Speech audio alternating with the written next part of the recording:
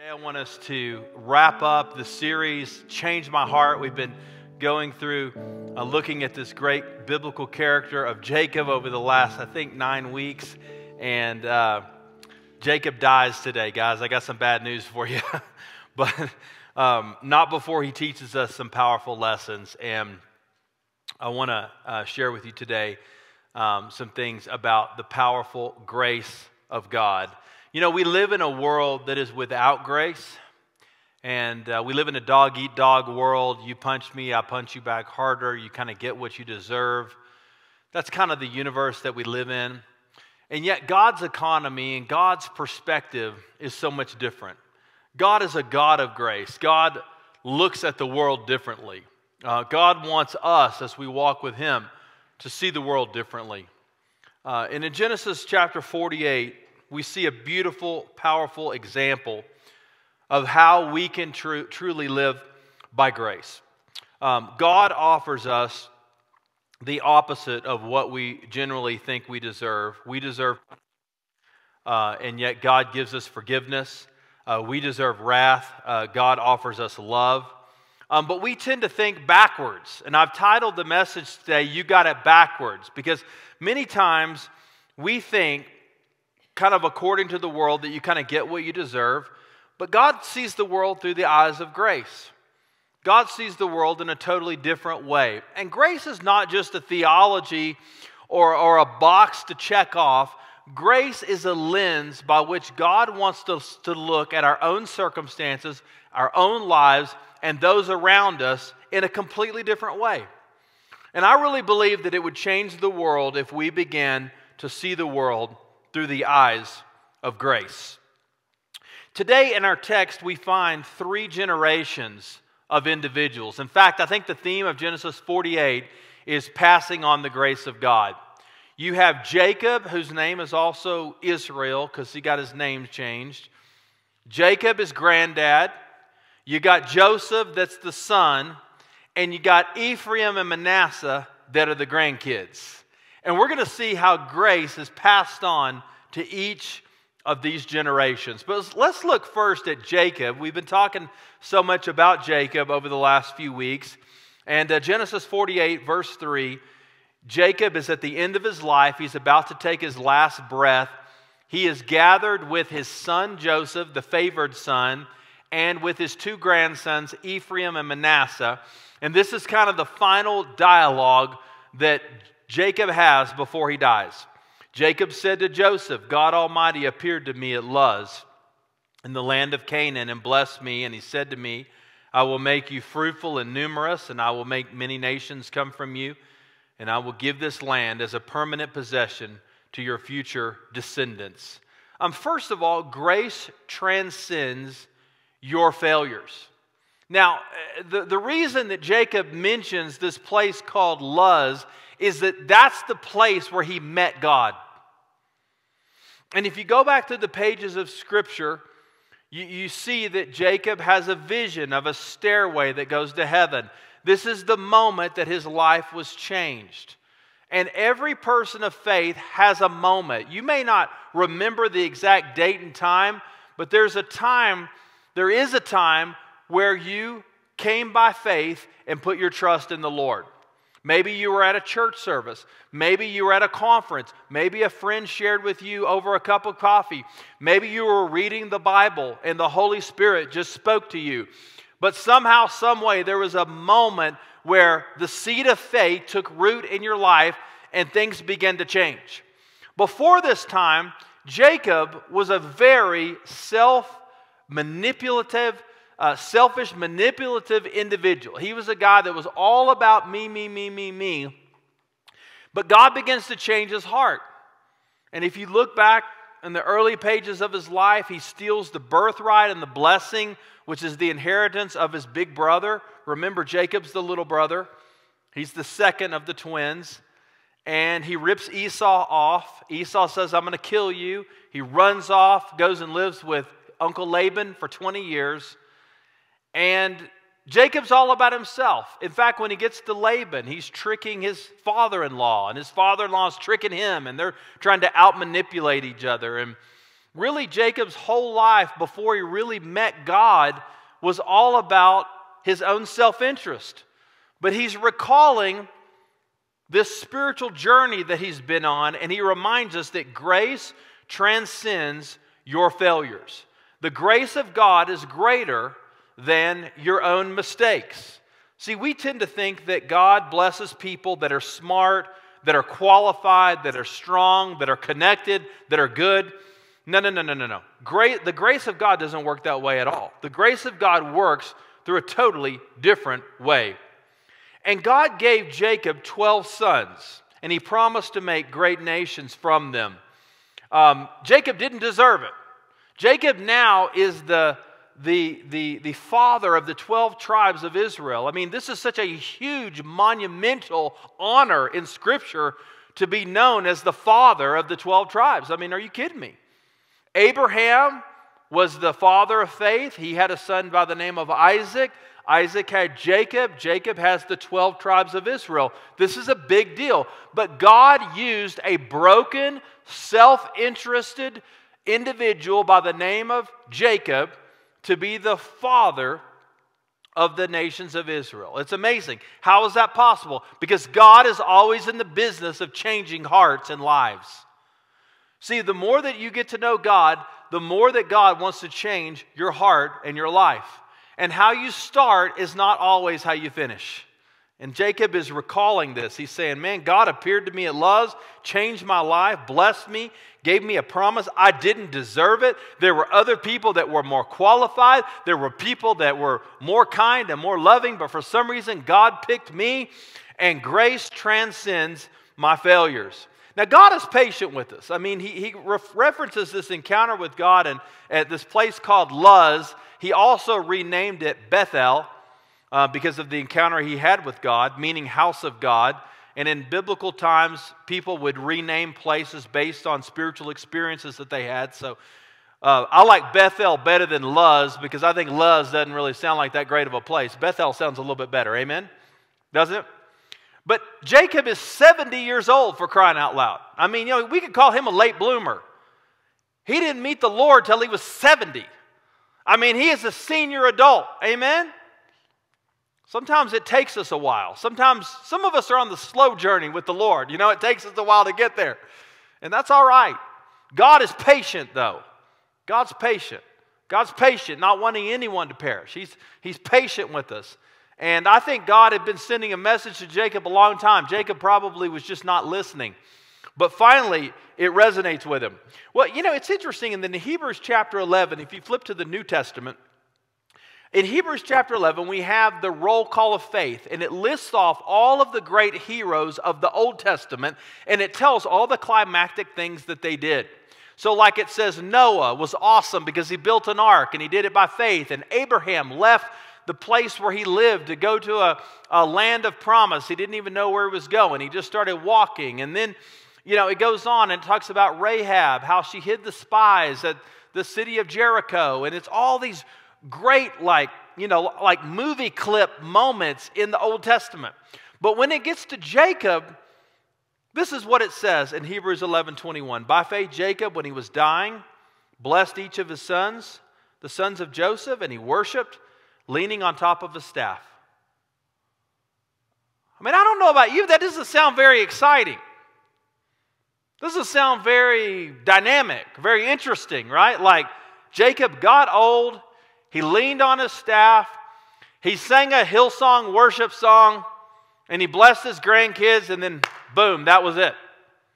Why wouldn't the writer of Hebrews talked about talk about the uh, wrestling match that he had with the angel of the Lord? That was a lot more interesting you know, can you imagine Jacob? He jumped off the turnbuckle and put the angel of the Lord in a headlock and then the full Nelson. And I mean, that would have been much better in Hebrews chapter 11. But the summary of his life, and Jacob only gets, I believe, one verse here, one or two verses in Hebrews 11.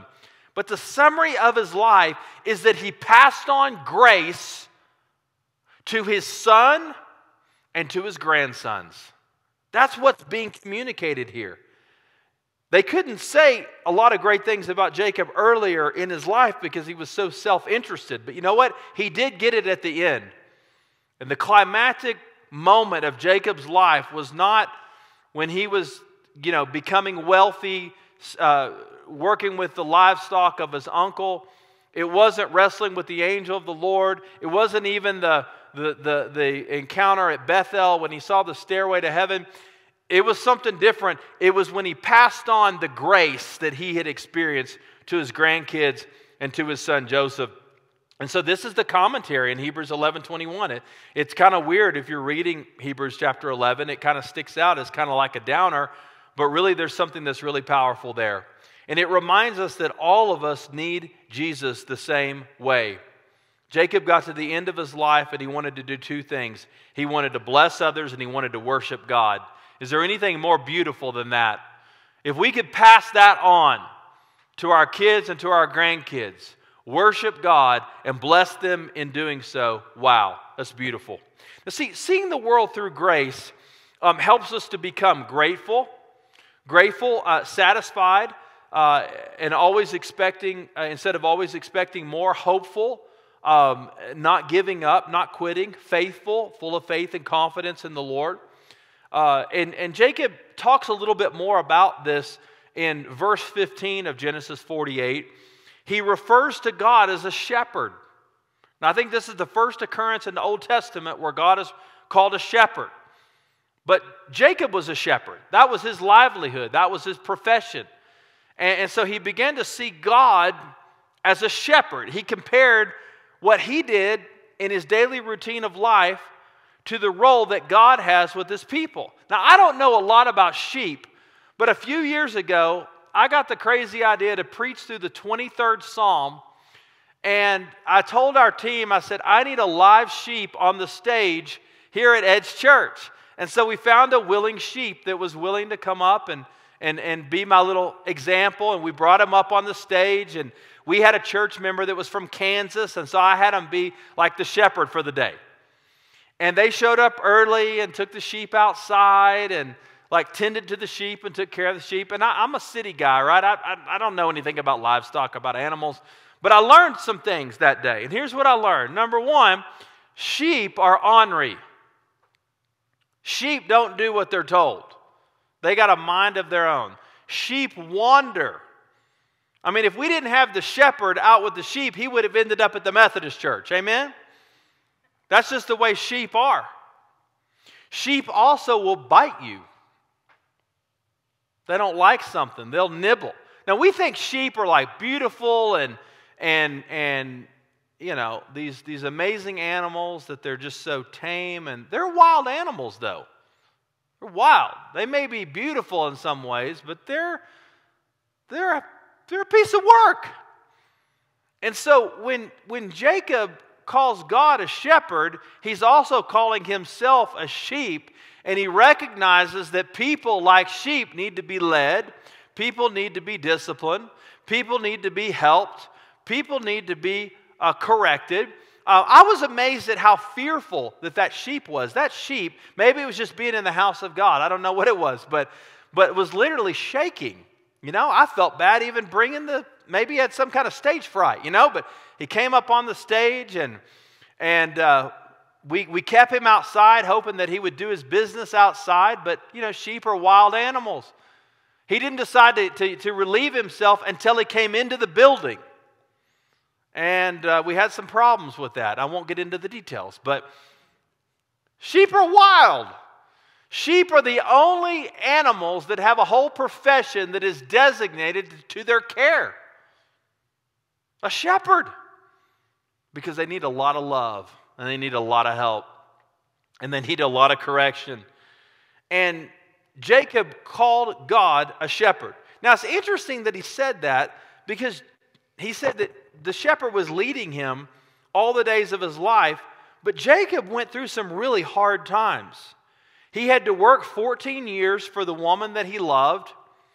Uh, his, Rachel, the heartthrob, the love of his life, died relatively early in their marriage while she was giving birth to their second kid. He was constantly in a battle with his father in law that he lived with, um, who was always trying to rip him off. He uh, had a lot of other hardships. He had to run for his life because his brother wanted to kill him. And yet, you know what? Because Jacob saw his life through the lens of grace, he saw God as a good shepherd that was still guiding him. You know, when you see the world through the grace of God, you will see the hardship that you've been through, but you won't become cynical and negative. You will see that as part of God's divine story of Him bringing you through the things that you've gone through. You'll say, Man, God led me through that. God comforted me. God aided me. God supported me. God helped me. And Jacob knows that he made some bad choices and did some dumb things, but man, God was with him all the while, all the way. So, are we motivated by grace? What are your spiritual motives? Jacob was motivated by grace, and grace transcends our failures. Isn't it great to know that even though we make mistakes and even though we mess up, that the grace of God can still operate in our lives? And this is what we learn from Jacob. But Jacob was not the only one in this story that experienced the grace of God. Joseph did too. Joseph was the favored son of Jacob. Jacob had 12 sons. He loved Joseph the most. Now, the family was a little dysfunctional because he played favorites, but usually the first son, which would have been Reuben, would be the favored son. In this particular story, it was Joseph. So now Jacob is dying and he's with his favorite son, Joseph. And this is what he says in verse 11 Israel said to Joseph, I never expected to see your face again, but now God has even allowed me to see your offspring. What's going on with that? Well, Joseph was the 11th of 12 sons. By the way, if you're on the basketball team and you're the 11th man, you don't get a lot of court time. So there's nothing there's nothing spectacular about the birth order of Joseph. He's the 11th of 12, okay? He's, he's, not, he's not the youngest brother, but he's like the next to youngest. Okay, so he's the 11th son. But he's the favored son, and one day Jacob gives him this beautiful coat. And the Bible calls it a coat of many colors. I think it was probably tie dyed. What do you think? It was beautiful. And the brothers were jealous. They were jealous because well, what about our coat? Well, give us a present. Come on, Dad. And so they get really envious and they're like, We're going to kill him. We're going to kill our brother. So they grab him, they throw him in a cistern that doesn't have water. They later decide to not take his life, but they sell him as a slave. Then they take that coat, they dip it in animal blood, and they tell the dad, Jacob, your favorite son is dead. And Jacob is devastated. I mean, he is absolutely heartbroken.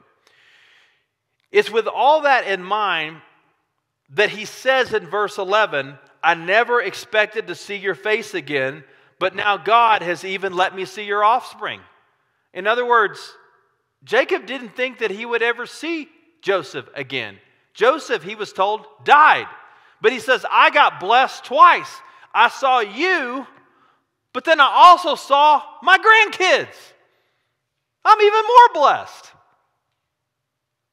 And Jacob says that was all by the grace of God. Because, see, grace revives dead things. Grace revives the things that we don't think exist anymore. Did you know that the grace of God is the thing that revives dead relationships? It's the thing that revives dead dreams.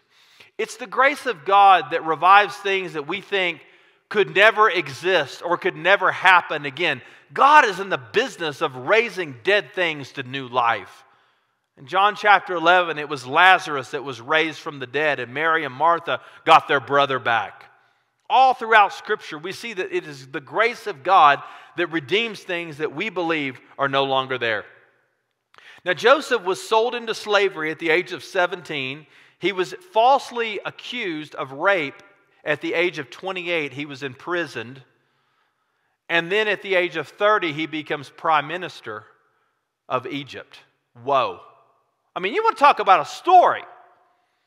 At the age of 17, he's at the bottom of the bottom of the bottom. A man named Potiphar buys him. He joins the household of Potiphar. He becomes the head servant. Evidently, Potiphar was pretty wealthy. Things are going great for Joseph. He's got a great income. He's got a lot of, you know, respect. He's got a lot of influence. He's working his way up. Potiphar loves him. But Joseph was a really good-looking dude. And the wife of Potiphar hit on him every day, the scripture tells us. And finally, when Joseph would not have relations with her, she lied about him. She falsely accused him. And Joseph was put in prison and he was there for a few years. But you know what? Joseph began to rise even in the pit. Even in the, even in the prison, man, Joseph began to rise up. God began to give him favor in prison. He had favor with the inmates. A baker and a butler had a dream, and Joseph interpreted those, and people began to turn to Joseph. Joseph became the spiritual leader of the prison. He didn't deserve to be there, but he was there. And a few years later, he gets out and he rises and he becomes the prime minister. Man, the number two guy in Egypt, the most powerful nation in the world. Joseph realized, I don't deserve to be here, but it was all by the grace of God. If you've got some things you don't deserve, you know what I'm talking about. That's called grace. Grace is the thing that elevates us beyond what we deserve. Grace is the thing that keeps us going when we don't feel like we can go another step. And Jacob is celebrating the fact that what he thought was lost has now come back to him. Wow. What's the thing in your life that you've given up on? What have you said? The story's over, or it's way too hard, or I'm tired of struggling, or this is never going to happen. I'm never going to get the victory. I'm never going to I'm never going to know what to do. I'm never going to get out of this situation. Wow. Remember the grace of God. Grace gives us what we don't deserve. Grace gives us favor. Grace gives us opportunity. Joseph didn't deserve to be in that high ranking position, but he was. Grace. Grace empowers us in our personal relationships. I, I, think perhaps the greatest moment of Joseph's life was not becoming prime minister, it was probably forgiving the brothers who had treated him so poorly. If you push the fast forward button, Joseph is, is over the distribution of food and grain in Egypt during a time of world famine. Um, the, the brothers of Joseph have left Canaan to go to Egypt because that's the only place there's any food. And when they get there, they have to go before their brother to ask for food to save their lives. The, the deal is, though, they don't realize that it's actually Joseph. It's been too many years. They don't recognize him. And through a very interesting um, uh, set of circumstances, Joseph is reconciled with his brothers. He forgives them for what they did. And when he gives the commentary on this circumstance, he, he says in Genesis chapter 50, verse 20, You planned evil against me, but God planned it for the good, uh, about the present results, the survival of many people. In other words, he saw the world through grace. Joseph said, Listen, you guys intended to harm me, but God used this to bring about the good. Do you believe that today? That God can take the broken things in your life, God can take the things that you think are the most hurtful and the most difficult, and He can still bring about good, even though those things have hurt us so deeply and so, and so much? Wow. It was grace. There was one huge setback, and then another setback, and then another setback. But, but God and His grace continued to sustain Joseph, and Joseph stayed faithful to God. And, and in the meantime, God worked and did things that only God could do. Grace is the way we treat other people. Just think about how the world would be. Think about how your family would be if there was a little bit more grace. The brothers of Joseph don't even believe that he's really sincere about not punishing them. Because after Jacob dies at the end of chapter 48, they go back to, to, to their brother Joseph and they're like, okay, now you're going to kill us, right? Okay, you were like nice because you wanted to see your father again, but we brought Jacob to see you. Now you're going to really let us have it. Joseph's like, no, grace. Grace. Grace emboldens us and empowers us to forgive those that have oppressed us. And it's a beautiful picture of the gospel. Ephesians chapter 2 verse 1 says that we were dead in our trespasses and sins, and yet God forgave us in Christ. Grace revives dead things. Grace also rewrites our future. See, the final thing that Jacob wants to do is he wants to bless Ephraim and Manasseh, the grandkids. This is a beautiful picture of a granddad spending his final moments of his life loving his grandkids. Ephraim and Manasseh are probably in their 20s. They're not little bitty kids, they're, they're young men at this time. And they're spending these, these, these last remaining minutes with, with Jacob. And the Bible says that he took both of them in his hands, beginning in verse 10 with his right hand Ephraim towards Israel's left, and with his left hand Manasseh towards Israel's right. And he brought them to Israel. But Israel stretched out his right hand and put it on the head of Ephraim the younger, and crossing his hands, put his left on Manasseh's head, although Manasseh was the firstborn. And then he blessed Joseph, and he said, Now, what's going on here? Well, typically, the right hand is the hand of power. You bless the oldest with the right hand. So Joseph thinks, I got this. And he brings in the boys and he puts big brother, Manasseh, in front of Jacob's right hand because he's thinking, I'm going to get the right hand blessing. The big blessing is going to big brother. Right hand, Manasseh, big brother. Left hand, little brother. And Jacob's kind of senile. He's kind of old, and he's, like I said, he's about to die and Joseph's going to correct him, but, but Jacob switches the hands. And he puts the right hand, the hand of power, the hand of blessing, on the head of the younger, and he puts the lesser hand on the older, and he reverses it. Now, why would he do that? Well, uh, Jacob was the younger brother. Remember, he got the blessing and the birthright, but really Esau deserved it. And throughout Scripture, in the book of Genesis, primarily, we see that the, sometimes God picks the younger. God picked Abel over Cain. God picked Isaac over Ishmael. God picks uh, uh, Ephraim over Manasseh. There's a few other examples. I believe the reason that God did this was to remind us that God's ways are not always predictable. God's ways are not always put in a box and predetermined and, and delivered. Sometimes God does things that are unorthodox. First Corinthians says that, that um, God does uh, unusual things. I mean, he confounds the wise. God comes up with his own schemes. God has his own ideas about things. Sometimes God just picks different people by his own sovereign decree. Sometimes God just simply decides, I'm going to go this direction. And it's a great reminder that we got to follow the Lord, not a formula. But look at the remaining part of the passage there. The God uh, before whom my fathers Abraham and Isaac walked, the God who has been my shepherd all, all my life to this day, the angel who has redeemed me from all harm, may he bless these boys, and may they call, may they be, be called by my name and the names of my fathers, Abraham and Isaac, and may they grow to be numerous within the land.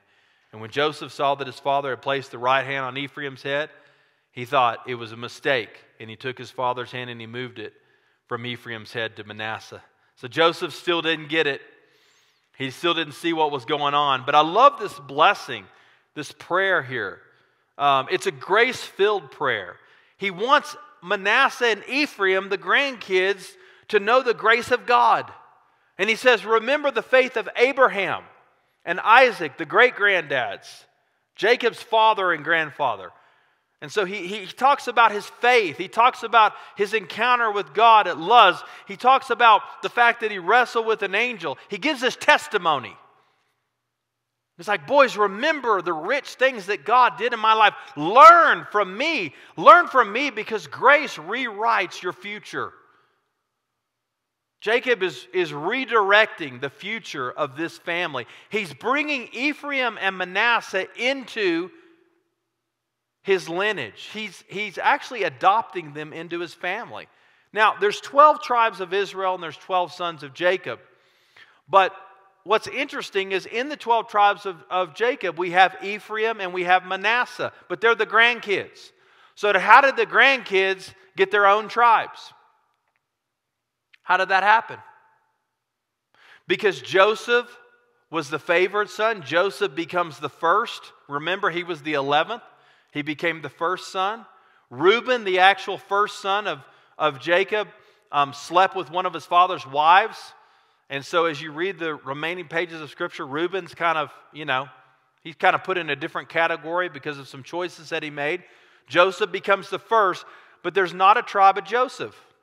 If you look at all the tribes of Israel, you never see tribe of Joseph. But what you do see is the tribe of Ephraim and Manasseh. So Joseph is doubly blessed by bringing his sons into the 12 tribes. Do you see it? This is grace. Ephraim and Manasseh didn't deserve to be treated like a son, they were grandkids.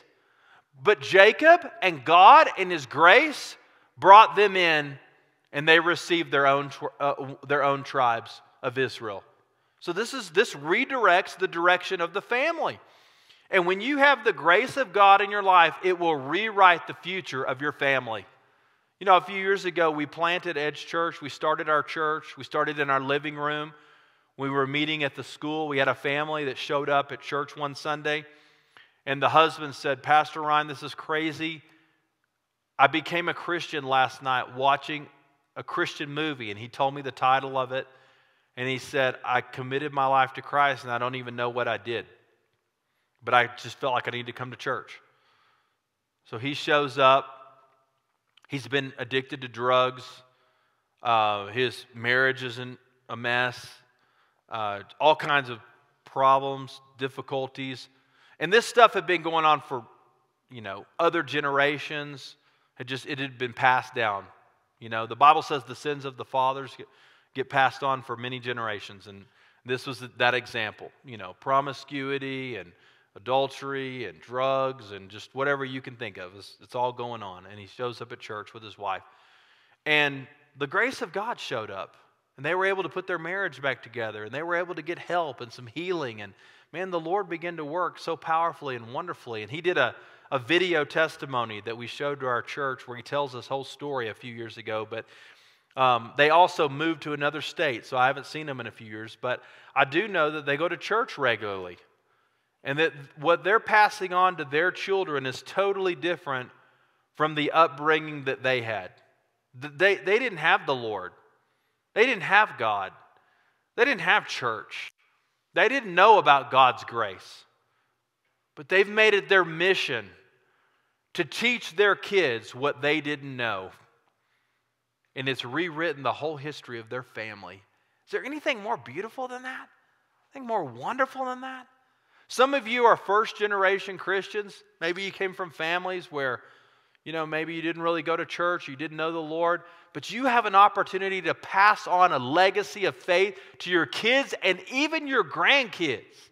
See, we, we, we talk about our kids a lot, but listen, a real legacy goes on for multiple generations. How amazing would it be that the choices that you made in your life today were impacting for the good your kids and your grandkids and your kids' kids and even further generations? You had the opportunity to rewrite the family tree of your life to be a legacy of faith.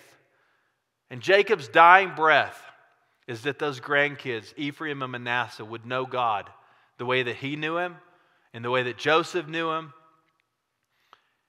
and the way that their descendants would know would know him. Isn't that beautiful? I love that so much. There's a couple of other examples if you look uh, in the story of Jacob. Um, there's a couple of the other boys that I wanted to mention. Two of the older brothers of, of Jacob, Simeon and Levi. And Simeon and Levi um, had violent tempers. Their sister Dinah was raped, and they took revenge by slaughtering a whole city. You, you can read about this in Genesis 34. Uh, Jacob was obviously very upset about that, and that was not God's plan, but these guys didn't have a lot of self control, and that's what they did. Um, if you continue to read on, the tribe of Simeon, the descendants of Simeon, becomes a tribe that's basically irrelevant. It's the smallest and weakest of Israel. They don't even really get their own land. When you get to the book of Joshua, um, they get like they get a piece of land, but it's kind of rolled in with the tribe of Judah. Um, they're weak, they're insignificant. You really don't hear from them ever again. And that's because they didn't really change the direction of their life. They kind of followed, I think, in the path of Simeon, the father of the tribe. But Simeon's brother Levi was also there murdering those people with Simeon. But what's beautiful is when you get to the book of Exodus, many generations later, Moses comes down from the mountain. He's been worshiping God. The people have made a golden calf. And Moses is upset. He said, Who's going to stand on the side of God? It was the Levites that stood with Moses. And so God made them the worship leaders and the priests of Israel. It's beautiful. All the worship leaders, the pastors, the priests, whatever you're going to call them, all from the tribe of Levi. What's, what does all that mean? Uh, that means that the moral of the story is that some people do what all their relatives do, and other people make changes. The Levites said, You know what? We're not going to live under this cloud. We're not going to live in the history of our father Levi. We're going to make a change. We're going to serve God. Whereas the people of Simeon, the guys of Simeon, were kind of like, Well, I think we'll just kind of stay lukewarm and half hearted and see where it goes. We can make a change. Grace can rewrite your future. And that's what God wants to do. Now, how can we do this? Jacob takes these boys and he blesses them by physical touch. Okay? Physical touch. He kissed and embraced them. Boys get masculinity from their fathers and grandfathers. Boys need physical touch. Sometimes we don't touch boys as much when they get, you know, to be preteens and teenagers. But boys need that. We need to hug our boys, love our boys. Quality time. In verse 9, Jacob spending time with these boys, passing it on, interacting with them.